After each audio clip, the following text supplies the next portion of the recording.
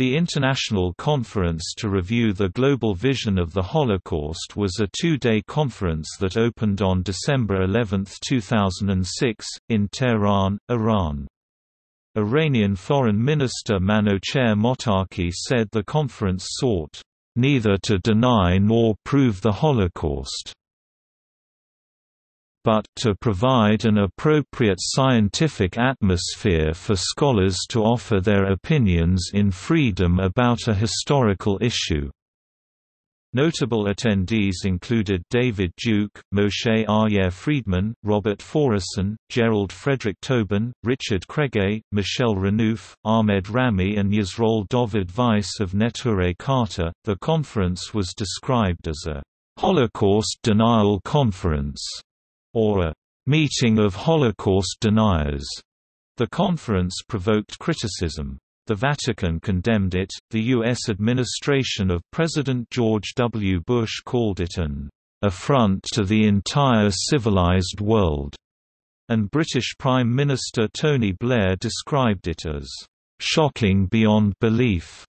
Holocaust historians attending a separate conference in Berlin organized in protest against the Iranian one called it an attempt to cloak antisemitism in scholarly language. Topic goals According to the Iranian Foreign Ministry, the conference would not aim to deny or prove the Holocaust, but to create opportunities for suitable scientific research so that the hidden and unhidden angles of this most important political issue of the 20th century becomes more transparent. The event was organized by the Ministry's Institute for Political and International Studies (IPIS). The goal of the conference was to discuss the reality of the Nazis' extermination of Jews during World War II. The Foreign Minister of Iran and other officials stated that the conference was meant to create an opportunity for thinkers who cannot express their views freely in Europe about the Holocaust. According to the Iranian Foreign Minister, if the official version of the Holocaust is thrown into doubt, then the identity and nature of Israel will be thrown into doubt and if, during this review, it is proved that the Holocaust was a historical reality, then what is the reason for the Palestinians having to pay the cost of the Nazis' crimes?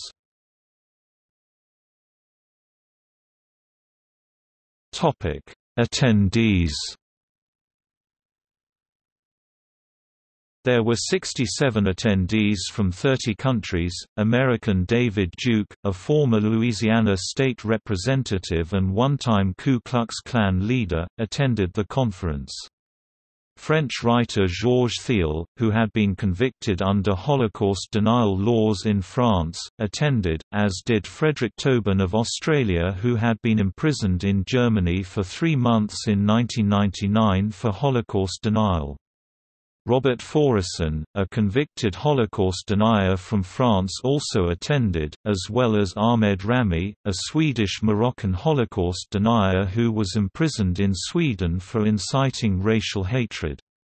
German psychologist and National Democratic Party of Germany (NPD) functionary Benedikt Frings was invited by Iranian Deputy Minister of Islamic Guidance Muhammad Ali Ramin. Frings said that he had waited for such a conference all my childhood the NPD is widely considered the most significant German neo-Nazi party. Michèle Renouf, an Australian-born British defender of Holocaust denial author David Irving also attended.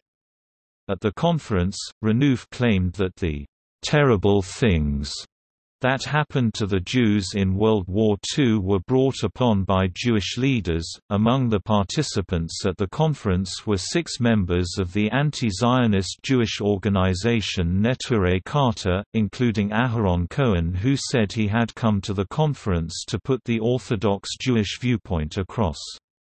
Cohen also said that while the Holocaust indisputably happened, in no way can it be used as a justification for perpetrating unjust acts against the Palestinians. Shiraz Dossa, a professor of political science at St. Francis Xavier University in Nova Scotia, Canada, presented a paper at the conference and was roundly vilified for his participation by the Canadian media and his university. Jan Bernhoff, a computer teacher from Sweden, gave a presentation claiming that 300,000 Jews had been killed as opposed to 6 million. French Holocaust denier Roger Was unable to attend the conference for health reasons. However, he reportedly sent a videotaped message supporting Iranian President Mahmoud Ahmadinejad's view that Israel should cease to exist.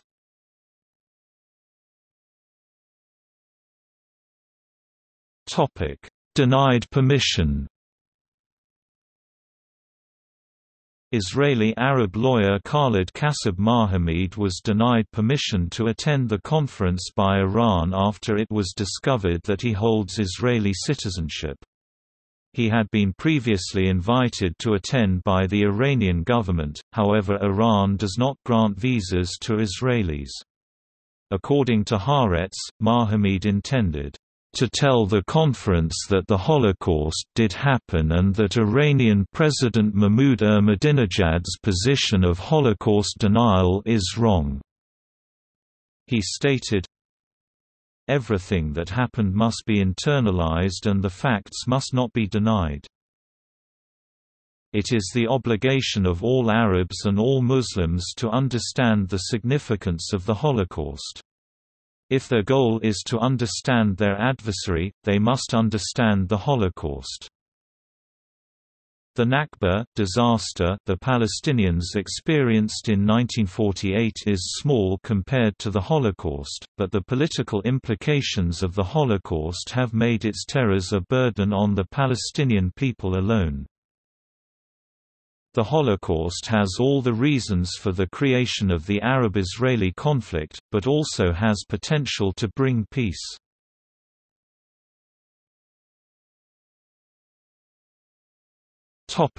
Conference events The Iranian President Mahmoud Ahmadinejad was quoted as saying, the Zionist regime will be wiped out soon the same way the Soviet Union was, and humanity will achieve freedom and elections should be held among Jews, Christians and Muslims so the population of Palestine can select their government and destiny for themselves in a democratic manner. Papers delivered by participants from countries ranging from Austria to Indonesia included a Challenge to the Official Holocaust Story, and Holocaust, the Achilles heel of a primordial Jewish Trojan. David Duke gave a speech in which he said, in Europe you can freely question, ridicule and deny Jesus Christ. The same is true for the Prophet Muhammad, and nothing will happen to you but offer a single question of the smallest part of the Holocaust and you face prison."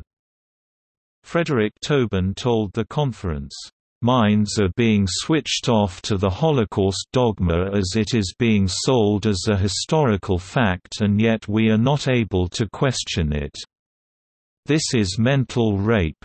Rabbi Aharon Cohen told the conference. There is no doubt whatsoever, that during World War II there developed a terrible and catastrophic policy and action of genocide perpetrated by Nazi Germany against the Jewish people, confirmed by innumerable eyewitness survivors and fully documented again and again. The figure of six million is regularly quoted. One may wish to dispute this actual figure, but the crime was just as dreadful whether the millions of victims numbered 6 million, 5 million or 4 million. The method of murder is also irrelevant, whether it was by gas chamber, firing squads or whatever. The evil was the same. It would be a terrible affront to the memory of those who perished to belittle the guilt of the crime in any way. Richard Krege maintained his suggestion of diesel exhaust gas chambers to be an outright lie, and showed a model of the Treblinka extermination camp to illustrate this. He claimed that up to 10,000 people died in the camp, but of disease, instead of planned extermination. He said, there is no scientific proof to show that this place was an extermination camp. All that exists are the words of some people.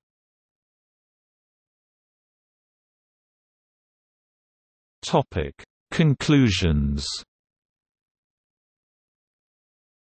According to IRNA, the conference participants agreed to start a World Foundation for Holocaust Studies with Muhammad Ali Ramin as its Secretary-General. The stated purpose of the foundation was to find out the truth about Holocaust. More immediate tasks included preparing for the next Holocaust conference and composing the Foundation's letter of association. The main office would initially be located in Tehran, though Ramin said it will eventually move to Berlin, once proper grounds are prepared.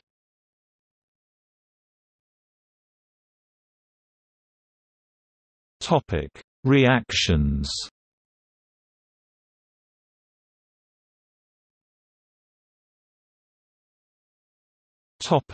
Iran Iran's sole Jewish member of parliament Morris Motamed said, "...holding this conference after having a competition of cartoons about the Holocaust has put a lot of pressure on Jews all over the world." And that, "...the conference has upset Iran's 25,000-strong Jewish community." Though reformist demonstrations had been rare since Ahmadinejad took office, a few dozen students burnt pictures of him and chanted, "'Death to the Dictator' as Ahmadinejad gave a speech at Amirkabir University of Technology in Tehran on 12 December 2006. One student activist said the protest was against the "'shameful' Holocaust Conference, and added that Ahmadinejad had brought to our country Nazis and racists from around the world. Ahmadinejad responded by saying, Everyone should know that Ahmadinejad is prepared to be burnt in the path of true freedom, independence and justice. However, Ali Akbar Mohtashamipur, Secretary-General of the International Congress to support the Palestinian Intifada, expressed support for the conference, saying that the Western and Zionist media have always been aggrandizing the dimensions of the reality of Holocaust, mixing a bit of truth with a lot of lies.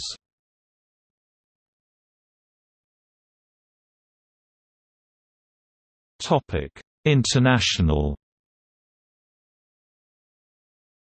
Supranational bodies United Nations Secretary-General Ban Ki-moon said, "...denying historical facts, especially on such an important subject as the Holocaust, is just not acceptable. Nor is it acceptable to call for the elimination of any state or people." I would like to see this fundamental principle respected both in rhetoric and in practice by all the members of the international community. United Nations Secretary-General Kofi Annan himself visited Iran and had a series of dialogues with the Iranian leadership and other senior-level people wherever and when, and if the situation requires me to do, I am also prepared to engage in dialogue with the Iranian leadership. During a visit to Iran in September 2006, then United Nations Secretary-General Kofi Annan also criticized this conference, saying, I think the tragedy of the Holocaust is an undeniable historical fact and we should really accept that fact and teach people what happened in World War II and ensure it is never repeated. States Belgium, Foreign Minister Karel de Gucht said he condemned the revisionistic and negationistic expressions of Iran and the repeated questioning of the right to exist for the State of Israel. Canada, Minister of Foreign Affairs Peter MacKay said that the conference was an outrage. It is an insult to Holocaust victims. It is an insult to their descendants. Canada's new government and I am sure many others in this House of Commons and around the globe condemn this conference, just as we have previously condemned the Iranian president's comments about the Holocaust as hateful. France, prior to the conference, Foreign Minister Philippe Douste-Blazy said France would condemn the conference if participants used it for Holocaust denial. After the conference opened, Douste-Blazy stated to French RTL Radio, I reiterate our utter condemnation of this conference and the revisionist ideas it's given a platform to. He cited this conference as further evidence of Iranian President Mahmoud Ahmadinejad's shocking and unacceptable statements, and that this conference violated the 2005 United Nations Resolution on Holocaust Remembrance, which rejects any denial of the Holocaust as a historic event, either in full or in part. Germany, Chancellor Angela Merkel, after a meeting with Israeli Prime Minister Ehud Olmert, said, I would like to make clear that we reject with all our strength the conference taking place in Iran about the supposed non-existence of the Holocaust. According to the New York Times, the German government summoned the Iranian chargé d'affaires in Berlin to complain. Israel, Prime Minister Ehud Olmert denounced the conference before embarking on a two-day trip to Germany, calling the gathering, "...a sick phenomenon that shows the depths of hatred of the fundamentalist Iranian regime." Tzipi Livni, the Israeli foreign minister, commented on the Holocaust conference at a Knesset meeting, and said, I didn't come to this meeting to argue with the evil one from Tehran and his allies. He can't erase the pain of the survivors. Mexico, the government issued a letter disapproving of the conference and its results. In a statement on its website, the Foreign Secretary wrote that, the Government of Mexico, through the Office of the Foreign Secretary, agrees with the international disapproval of the Iranian Conference on the Holocaust and rejects all negation, either partial or total, of the Holocaust as historical fact. Translation Poland, the Ministry of Foreign Affairs said on its website that Poland expresses its strong disapproval of the conference, which contradicts the idea of the International Day of Commemoration in memory of the victims of the Holocaust established by the UN General Assembly, and celebrated on 27 January, any attempt at contesting this truth arouses serious concern in Poland, where six million people were victims of the Nazi genocide. The ministry also consigned informational material from the Auschwitz-Birkenau State Museum to Iranian scholars, seeking to deepen their knowledge of the Holocaust. Sweden, Minister for Foreign Affairs Carl Bildt said, the Iranian regime's statements about Israel and the questioning of the Holocaust are completely unacceptable, as well as Iran's questioning of the State of Israel's right to exist. Switzerland, Foreign Ministry spokesman Johann Aeschlimann said that the ministry condemned any querying of the right of Israel to exist, as had once again happened in Tehran, and of the Holocaust. The Shoah is a historical fact. It is unacceptable to call this into question. United Kingdom, Prime Minister Tony Blair denounced the conference as shocking beyond belief. Blair also said that it was a symbol of sectarianism and hatred toward people of another religion. I mean, to go and invite the former head of the Ku Klux Klan to a conference in Tehran which disputes the millions of people who died in the Holocaust. What further evidence do you need that this regime is extreme? United States, the State Department described the Iranian event as yet another disgraceful act on this particular subject by the regime in Tehran. It is just flabbergasting that they continue that the leadership of that regime continues to deny that six million plus people were killed in the Holocaust. Spokesman Sean McCormack said, the White House called it an affront to the entire civilized world. Religious leaders The Archbishop of Canterbury declared the conference a disgrace and called for the Holocaust to be memorialized in order to prevent its denial by future generations. Ashkenazi chief rabbi of Israel Yonah Metzger called upon Jews worldwide to shun members of Neturei Karta who attended the conference and refuse them entrance to synagogues.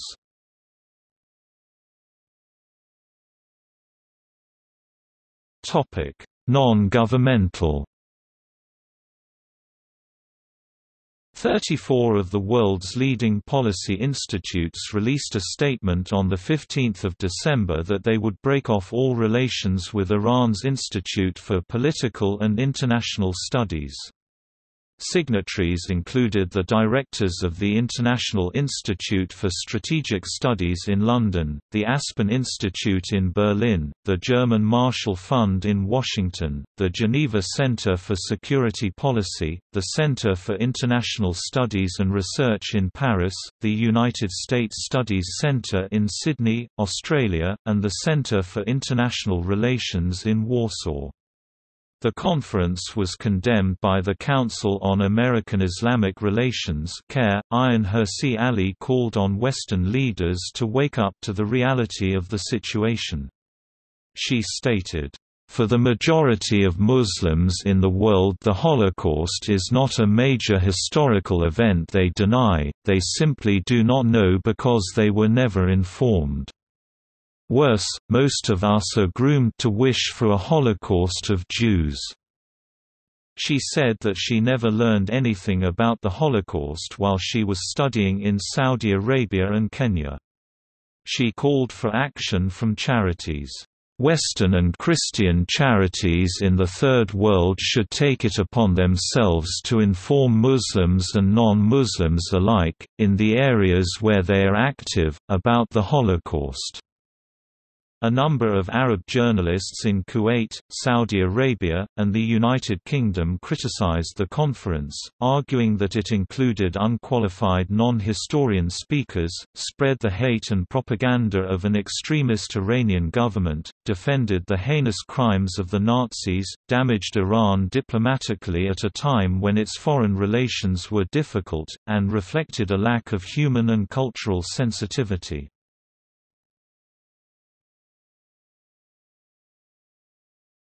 Topic: Counter-conferences. In reaction to this conference, a counter-conference on antisemitism and Holocaust denial was organized in Berlin entitled, The Holocaust in Transnational Memory. The keynote speaker was American Holocaust historian Raoul Hilberg, author of The Destruction of the European Jews Topics discussed included the mechanisms and intentions at the root of the various forms of Holocaust denial and the polarization of the Muslim and Western worlds. According to the Jewish Telegraphic Agency, Speakers emphasized that Holocaust denial is a form of anti-Semitism and that Ahmadinejad is using the theme, together with his threats against Israel, to gain international standing among Arabs. Israeli scholar David Menashri stated that a silent majority of Iranians would reject Ahmadinejad's Holocaust denial. Holocaust historians attending this conference in Berlin called the Iranian Conference, an attempt to cloak anti-Semitism in scholarly language. A symposium was also held in Jerusalem, entitled, Holocaust Denial, Paving the Way to Genocide, for members of the diplomatic corps.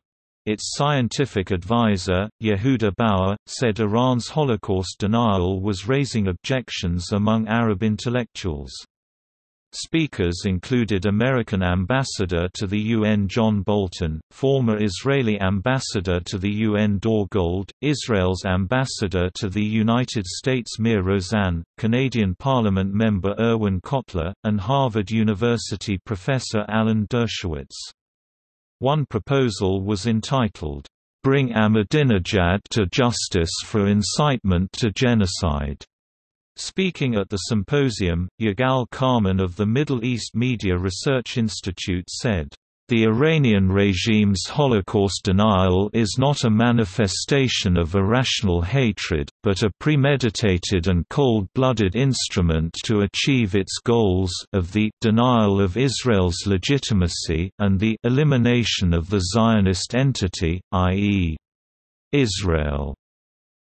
The Simon Wiesenthal Center in Los Angeles planned to hold a teleconference during the same period as the Iranian conference which would focus on individual stories from Holocaust survivors. The Bali Holocaust Conference was held in June 2007 in Bali, Indonesia. The conference aimed to promote religious tolerance and affirm the reality of the Holocaust and was attended by rabbis, Holocaust witnesses, and Muslim leaders, teachers and students. This event was convened by former Indonesian President Abdurrahman Wahid, and was sponsored by the Wahid Institute, the Simon Wiesenthal Center in Los Angeles, and the LibForAll Foundation. Wahid stated that although he is a good friend of Iranian President Mahmoud Ahmadinejad, Ahmadinejad's views about the Holocaust are wrong and constitute falsified history, and that the Holocaust really happened.